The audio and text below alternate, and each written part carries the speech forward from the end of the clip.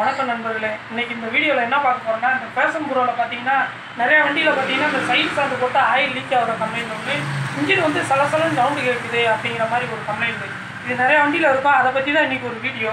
இது பார்த்தீங்கன்னா தெரியும் அந்த ஃபேஷன் ப்ரோ கச்சப் டீலக்ஸு ஃப்ரண்ட் ப்ளஸ் இதுலன்னா பார்த்தீங்கன்னா இந்த சைடு சாண்டு போட்டோம்னா இந்த இடத்துல வந்து ஆயில் லீக் ஆகும். இந்த இடத்துல. அது எதனால லீக் ஆகுதுன்னு பார்க்கும்போது பார்த்தீங்கன்னா இந்த வண்டியில் பார்த்தீங்கன்னா தெரியும்.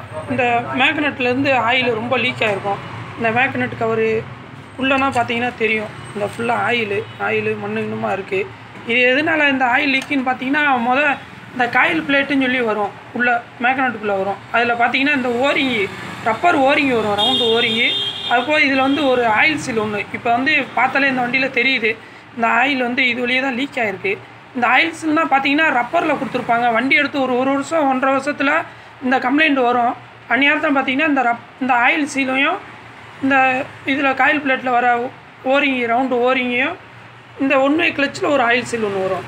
இந்த மூணுமே மாற்றினோம்னா இந்த மேக்னெட்டில் இருந்து ஆயில் லீக் ஆகிற கம்ப்ளைண்ட் வந்து வராது. இது ரப்பர்னால இன்ஜின் ஹீட்டில் வந்து மெல்ட் ஆகி இந்த மாதிரி ஆயில் லீக் ஆகும்.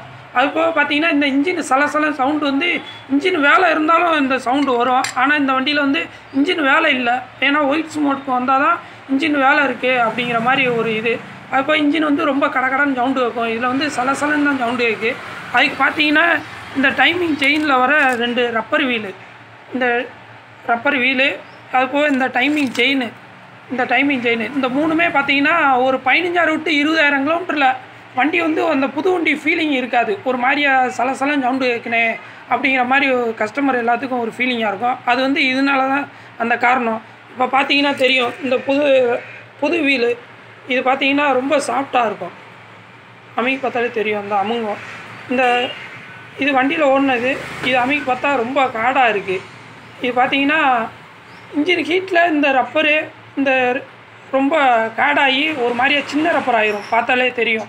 இந்த பழைய ரப்பருக்கும் புது ரப்பருக்கும் வித்தியாசம். அதே மாதிரி இந்த சின்ன ரப்பர் வீலும் அதே தான். அது பார்த்தீங்கன்னா இந்த இடத்துல வரும். சின்ன ரப்பர் வீடு டைமிங் செயின் டென்ஷனர் டென்ஷனருக்கு இந்த ரப்பர் வீடு தான் இதாக இருக்கும். இது வந்து அந்த டைமிங் செயினை வந்து டைட்டு ஏற்றும் இந்த ரப்பர் வீலும் பார்த்தீங்கன்னா தெரியும். இது வந்து புதுசு. பழசு பார்த்தீங்கன்னா ரொம்ப காடாக இருக்கும். இப்போ இந்த ரெண்டுக்கும் வித்தியாசத்தை பார்த்தா தெரியும். இது வந்து பழைய ரப்பரு இது புது ரப்பரு இந்த ரப்பர் பார்த்தீங்கன்னாலே தெரியும். கொஞ்சம் சுருகுன மாதிரி தெரியும். இந்த ரப்பர் கொஞ்சம் பெருசாக இருக்கும். அதுபோல் இந்த டைமிங் செயின் அதுவும் பார்த்தீங்கன்னா ஒரு மாதிரியா ரொம்ப தொலை தொலைன்னு ஆயிரும். இது வந்து வண்டியில் வந்த செயின் இப்போ வந்து ரெண்டாவது ஒரிஜினல் செயின் வாங்கியிருக்கு. இந்த சைடு சாண்ட் ஆயில் லீக் ஆகிறப்போ இந்த இன்ஜின் சலசல சவுண்டுக்கு வந்து இந்த ரெண்டு தான் கம்ப்ளைண்ட் வரும். ஆயில் லீக் ஆனால் இந்த சின்ன பொருளில் ஒரு ஆயில் செல் ஒன்று வரும். அந்த ஆயில் செல்லும் சேர்த்து மாற்றிடலாம் அது ஆனால் அந்த அளவுக்கு ரொம்ப ரேட் வராது. ரேட்டு கம்மியாக தான் அப்போ இந்த கீ சாப்பிட்டு அதுலேயும் ஒரு ஆயில் சீல் வரும். அதையும் மாற்றிட்டோம்னா நல்லாயிருக்கும்.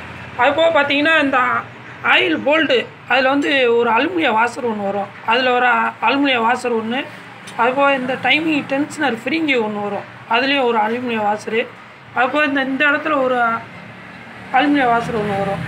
டைமிங் வீல் உள்ள ரப்பர் வீல் போடுற இடத்துல இந்த இந்த வாசர் ஒன்று இது அதுபோக இதில் வந்து ஆயில் உள்ளே பம்பாகுதா என்னன்னு பார்க்குறதுக்கு வந்து இதில் ஒரு அலுமினிய வாசர் ஒன்று வரும். இந்த அருக்கு இந்த வாசர் இது எல்லாத்தையும் மாற்றினாலே ஓரளவுக்கு இந்த சைடு சாண்டு போட்டால் ஆயில் லீக் ஆகிற கம்ப்ளைண்ட் வந்து வராது.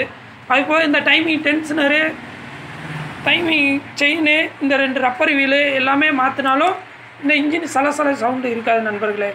அதான் ஒரு சின்ன பதிவு. நன்றி வணக்கம்.